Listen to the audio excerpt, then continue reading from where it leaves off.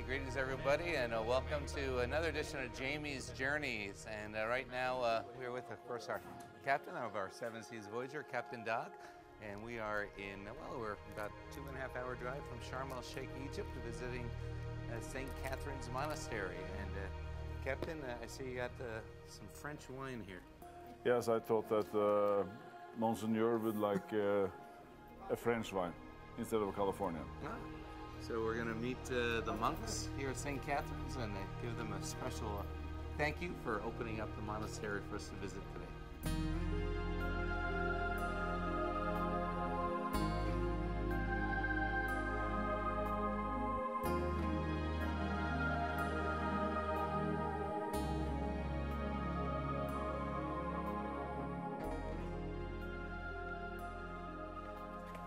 So actually, uh, we're going to visit the bishop, the man who uh, is in charge of St. Catherine's.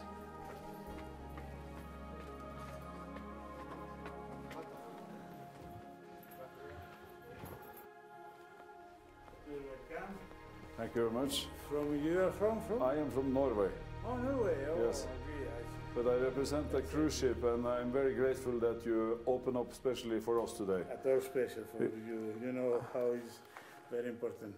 Today is the biggest Friday for us. As for you, is the big Friday. History together, this said. We are very, very uh, honored that you wanted to receive us and I brought you some, uh, some wine, which I hope you will uh, enjoy. And we also brought... Being with uh, in good health. Uh, Mr. Who are you? I am uh, the ship's cruise director. Ah, should be director. I, I serve under the captain. Yeah, bravo. Welcome. It's very Captain? nice. Yes, I'm a captain. Oh, yes, I'm very, very happy. But it's very nice to uh, to come and visit you. So I, uh, on behalf of uh, all the people nice that also we are to bringing, meet, nice also to I uh, appreciate it very much. This is just a little souvenir. Thank you very, very much. A good souvenir from your country. It's from the ship, as a matter of Ah, from ship. Yes. Which uh, company of? It's called Regent Seven Seas Cruise Line. Uh-huh. How many years you have stayed in the monastery? Not uh, so many years. A half a century. Half a century. 30, 46 years, from 61.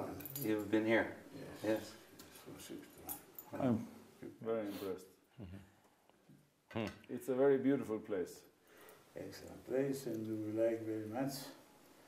We're reborn here. Me, I'm reborn. Yeah. I'm born in Athens and reborn here. Reborn here, yes. We came with uh, passengers first time 1992 and we have been here every year but this year we were told that it was closed and I was so sorry. So thanks to the company and all of your friendliness you opened it up for us and I'm forever grateful for that in this very holy day of the year. Yes, you know, it's so, so, it's not only so full and um, from, from prayers, but this was for fathers necessary to, to be in, in uh, rest this uh, so important day. And we make uh, this exception for you for half hour. We open the monastery, one hour most than more, but the other, I hope uh, the other Fridays will be not so important, will not be uh, closed. You know that uh, normally all the, all the Fridays uh, we close and open a little, only one hour. Or, but especially today is not all closed. I'm very grateful and I, uh, I would like to ask you one thing.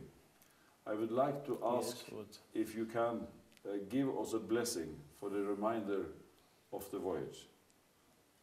Reminder of We, what? we, we are sailing from here and Yes. onwards to Ah. America.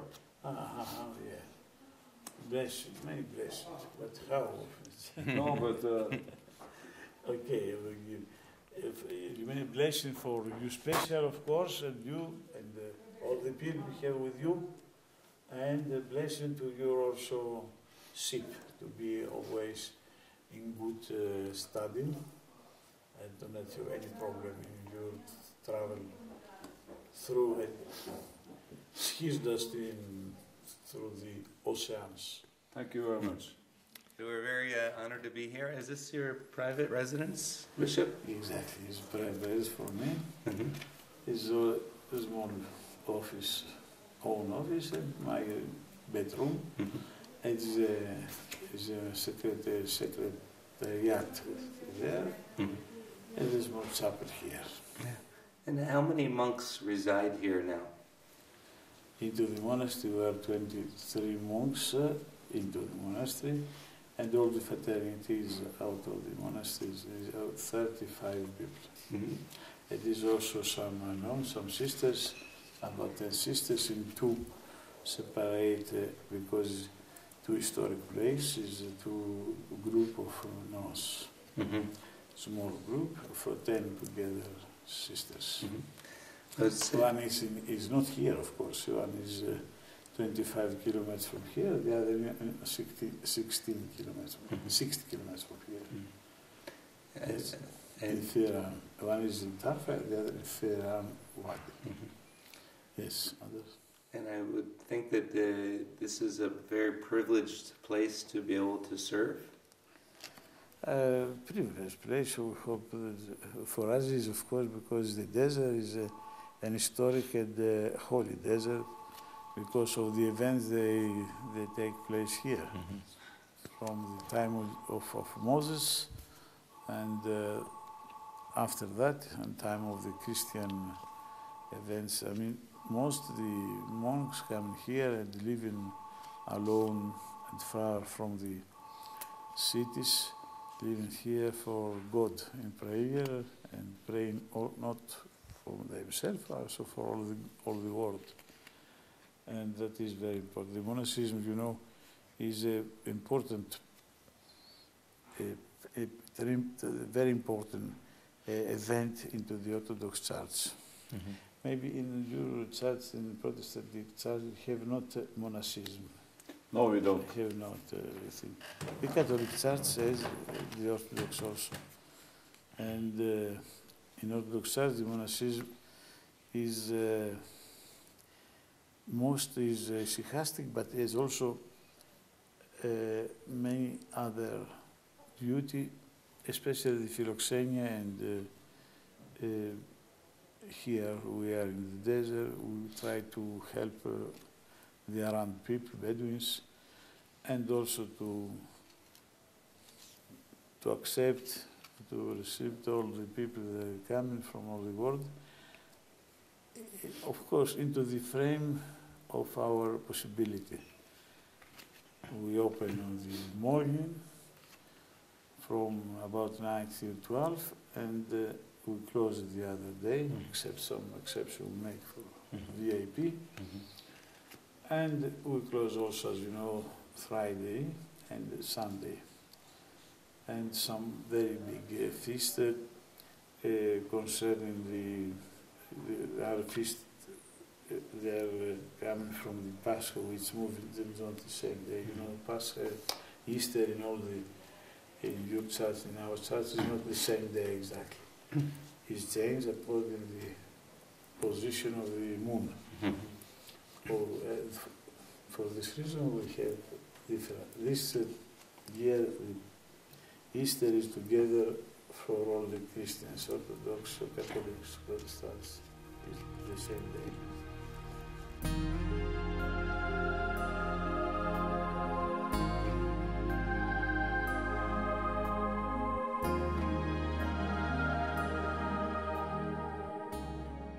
So right over here, this is actually the site where it was believed that this is where Moses met his wife, the actually Jethro, who had the seven daughters.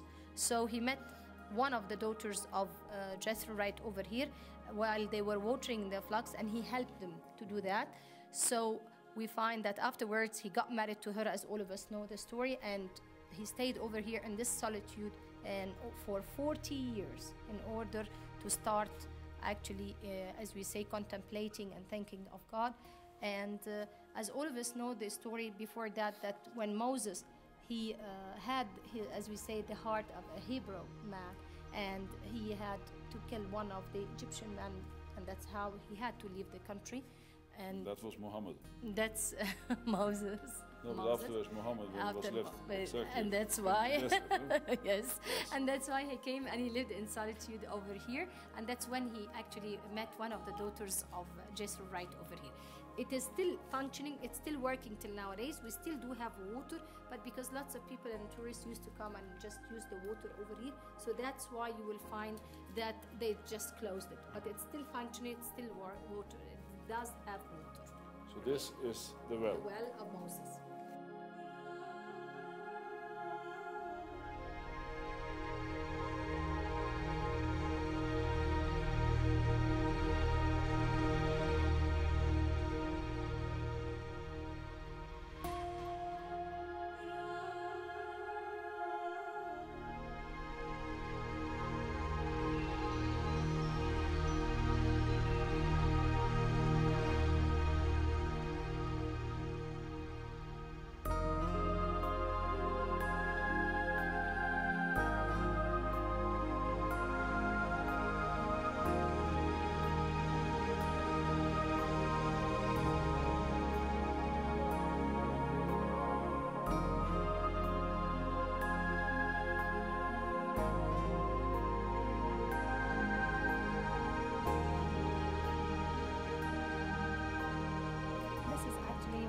most important parts of the monastery as well, which you can see uh, right over here. It's, that's what we can see in front of us.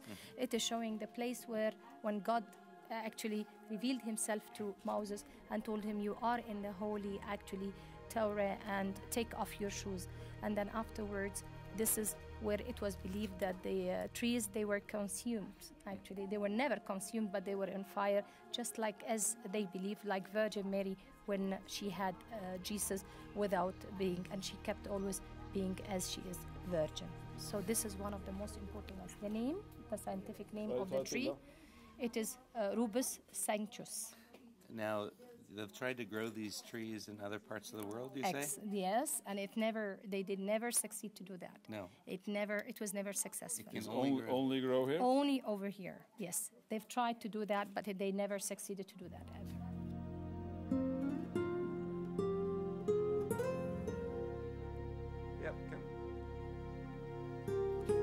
Are going inside now the, uh, the actually museum where they have the beautiful mosaic dome. Unfortunately, we cannot say anything, but I think you are, you are, you can film.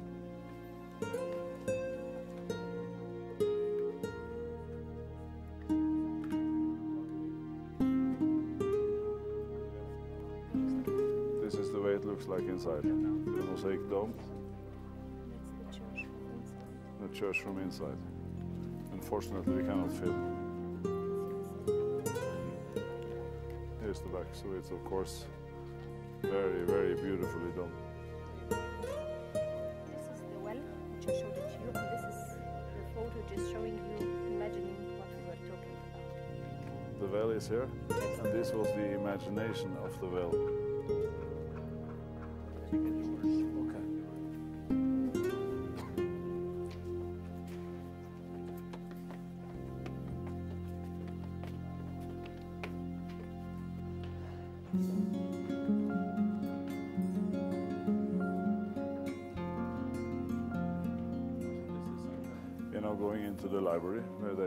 They open up specially for us, and we cannot say anything, but I believe Marcel can be able to film a little bit. I'm from Norway. I was wondering, what, what is the oldest book you have in here From the 4th century.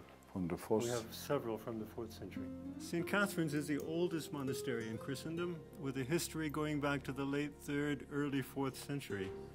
The first Christians came here at the time of the Roman persecution of the Christians. They fled into the desert, exactly the same way Moses had fled into the desert to escape Pharaoh, but they also wanted to identify the place where God had revealed himself to Moses. When God revealed himself, he said, The ground whereon thou standest is holy ground. So the early Christians wanted to identify that very place, and that formed the center for the Christian presence here. And then that coincided with the dawn of the monastic movement when monks deliberately went out into the desert to devote their lives to prayer and fasting. So there have been monks here from the very dawn of the monastic movement.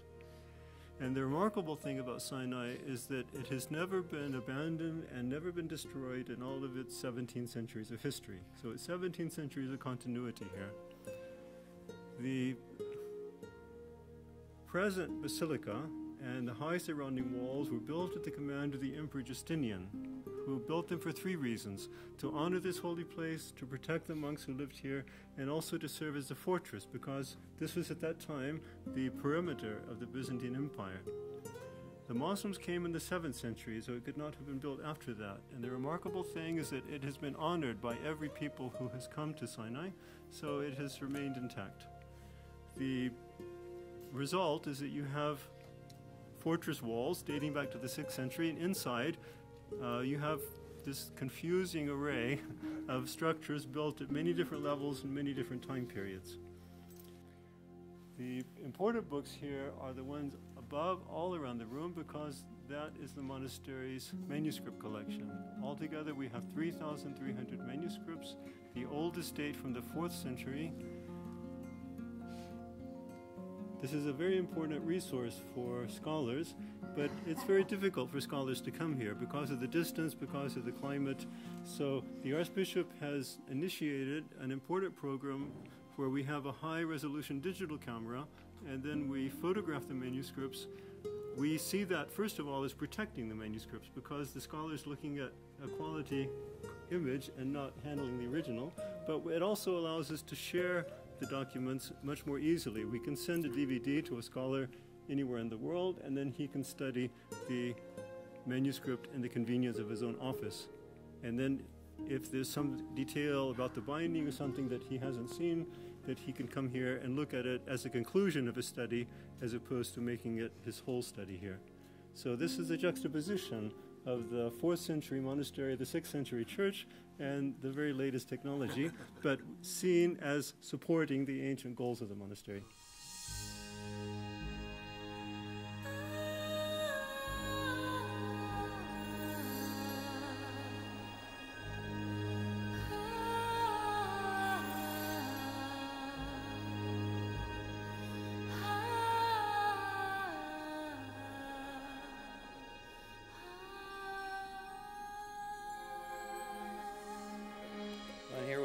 Uh, Justin, uh, who uh, did a, just a great explanation of the library. And uh, Father, uh, where are you from? Well, I've been a monk here at St. Catherine's for 11 years, but I grew up in El Paso. I was actually born in Fort Worth, and then when I was two, we moved to Chile. And I lived in Chile from the time I was two until I was nine, and then we moved back to El Paso. I went to school in Austin. I lived in Boston for 22 years, and then I came here, and I've been here 11 years. 11 years. And how, how did you go about getting, being privileged to have this assignment? Well, it was many small steps. I, I uh, grew up Protestant, and I knew all about the apostles and all about the Reformation, and nothing about what happened in between. Mhm. And I started reading uh, first medieval history and later Byzantine history, and that uh, seemed like um, uh, I discovered a treasure. Yeah. And then the more I read about Byzantine history, the more I concentrated on the church. And then only after I had read many books about the Orthodox Church did I, in the, in the history, did I begin to attend Orthodox services. Hmm. And then I became Orthodox when I was a student at the university, and it became the most important thing to me. So I wanted to do something associated with the church. Great. And may I ask, uh, how many other Americans or Canadians are also residing here? Well, there's a rule here that you must be of Greek descent to become a member of the community, Mhm. and it's by exception to that rule that I'm here. And there's one monk from England, from Crediton and Devon, and he's been here about 15 years, and I've been here about 11 years. And we're the only two non-Greeks who are Yeah. members of the community. And do you have in your mind how long you'd like to stay, or Well, this is my home right? now. So you'll And, and because I speak English, I'm constantly asked to go to conferences, and uh, that forces me to leave the monastery. But I'm always, it's always like a triumph when you get back here, Mhm. and and uh, this is this is where I, I feel the greatest joy. It's a privilege Mm-hmm. to live in such a place, but we also feel the um, obligation to share the heritage that's here with everyone. Well, you do a great job, and you have a phenomenal home. Thank you for uh, speaking about it. Thank you. Thank you. If you see down there where the camels are, and the little dirt road up there, that's the camel ride up to the Mount Sinai. where, of course, Moses climbed up to receive his Ten Commandments. Where we are going now with the camels, so that's why we don't really have much time here. No, we have time for maybe one commandment. Yeah, that's true. and uh, maybe we should have a little bird's eye view of the monastery as well. Yeah, you know the the mountains here are just phenomenal. The jagged peaks. Uh, I guess the Sinai, the word refers to the teeth, uh, which refers to the shape of the mountain, the jaggedness. And the eruption was there, you know, so you have the uh, Bay of Aqaba. Mhm. And of course, the Suez comes down like, like a front teeth, Mhm. which is still there.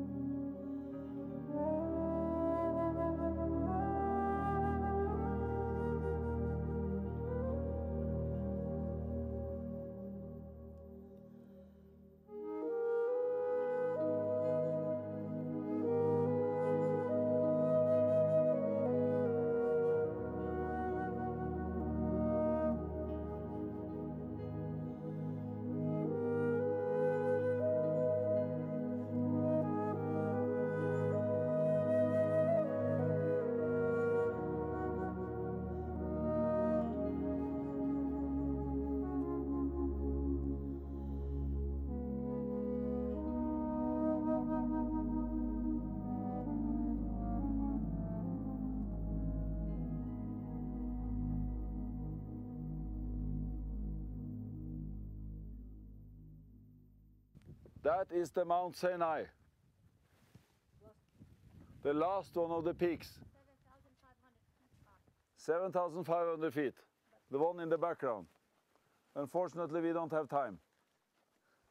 Well, we're now uh, reclining after our journey uh, back in Sharm el Sheikh and uh, with Hannah, our tour guide. And Hannah, first off, that library that we went into, uh, I'm understanding that's probably one of the two most important uh, right.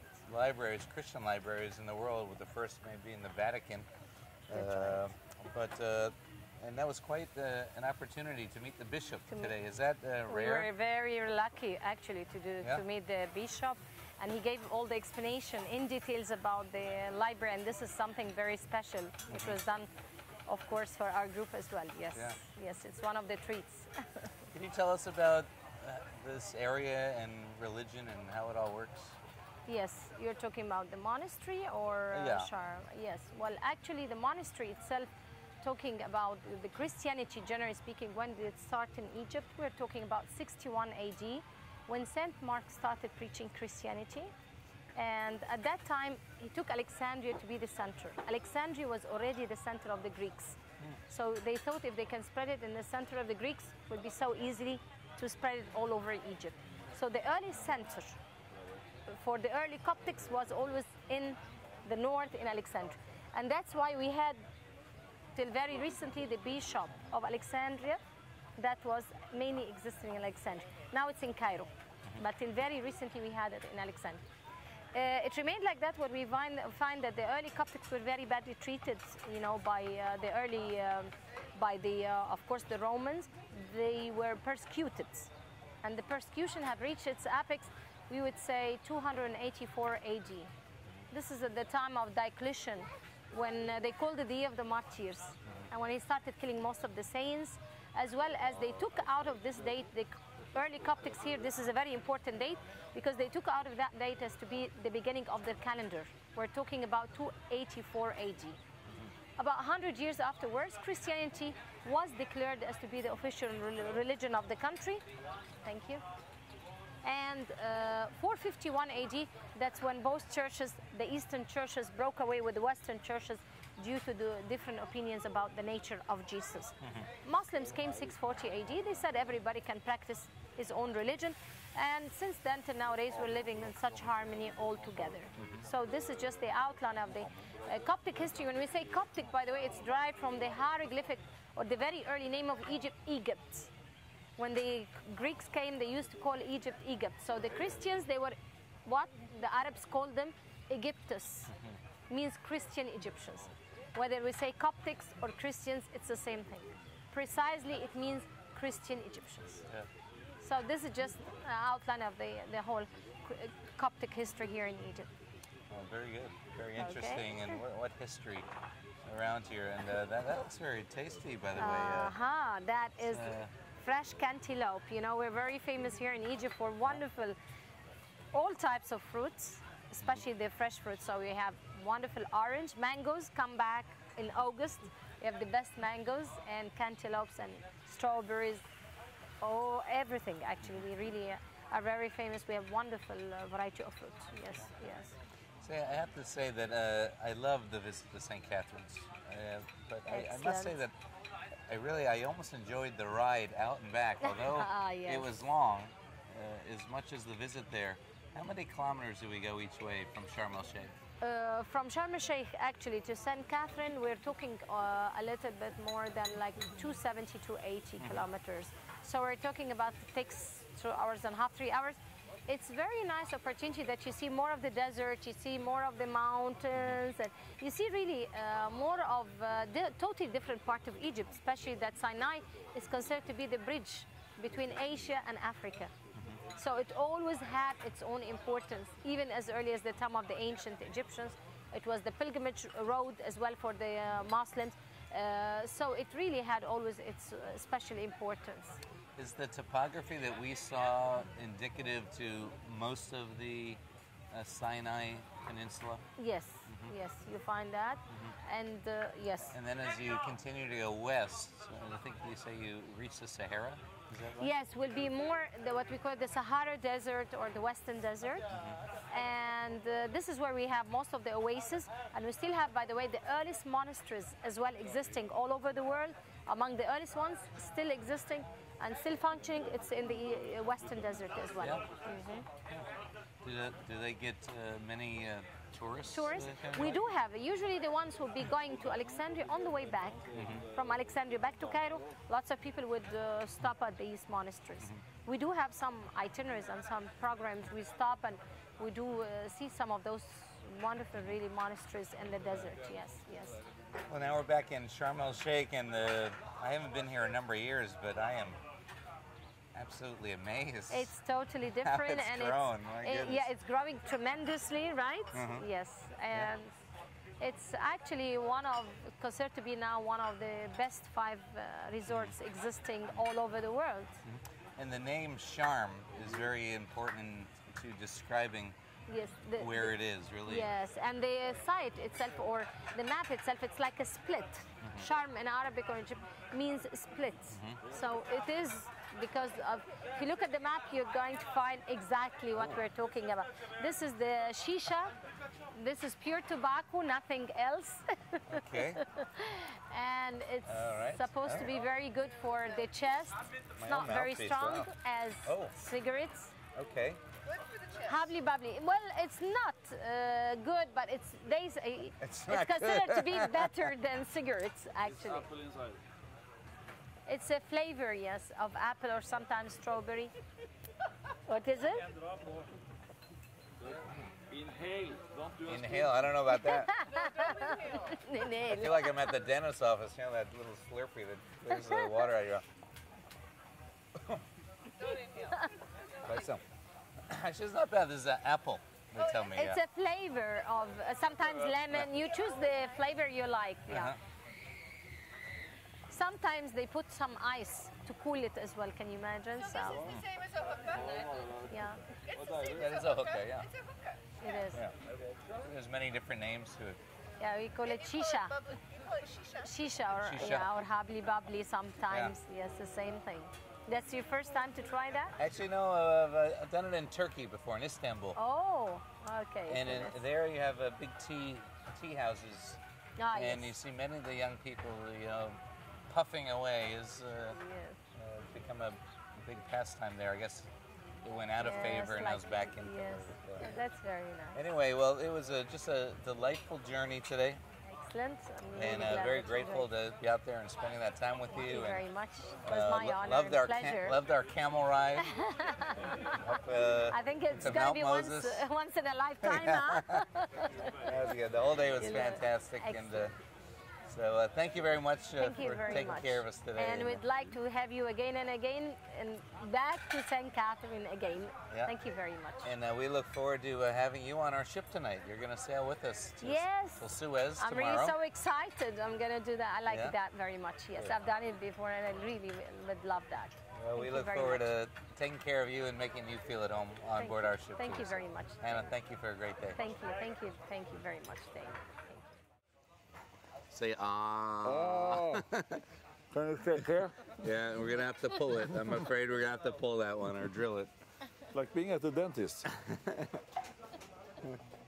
Say, Dag, uh, this is a great, a great day. My God, I have to sit in the smoking section tonight. no, no, no. Sorry. It was a great day.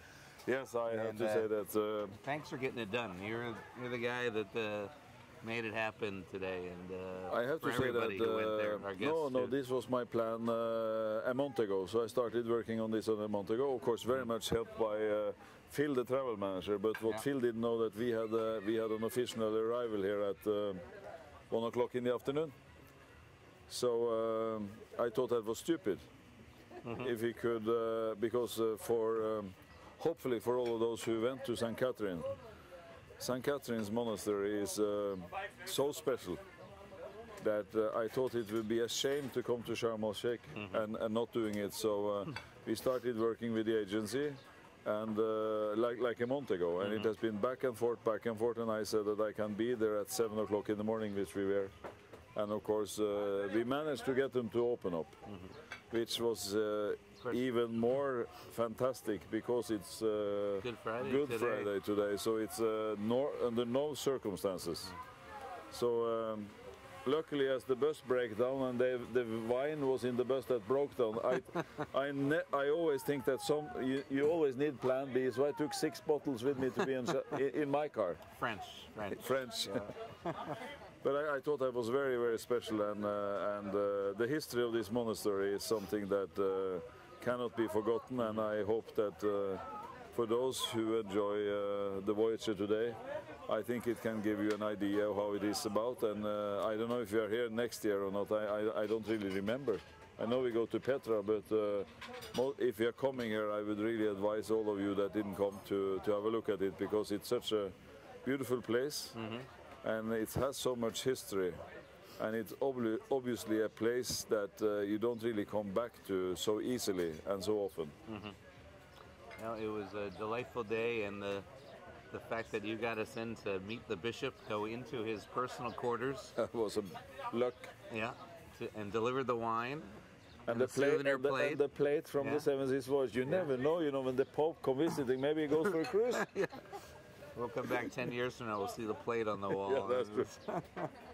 But it was just a, a fantastic day, yeah? I actually thought of my great great grandchildren when they ever come back. That oh, my father was here. You know?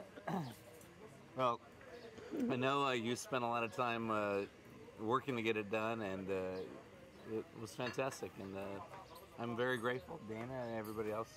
Great day, Dag. Thank you. Well, it was nice of you to come, and I hope that everyone that sees the program uh, enjoys it. And uh, let's say that for those who are with us next year, I don't even know if we're coming. I think we I, are. I think we're coming to Sharm el Sheikh, but of course then we can organize it uh, in a different way. Obviously, it's great diving here as well, but it all depends what your pri- priorities are, of course.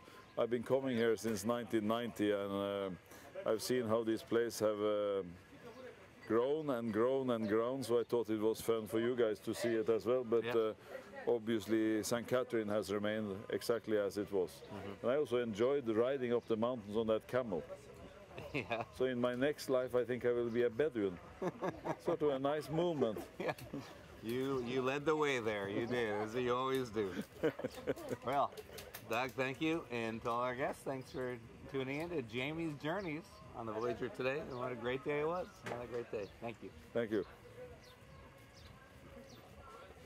ハハハハ。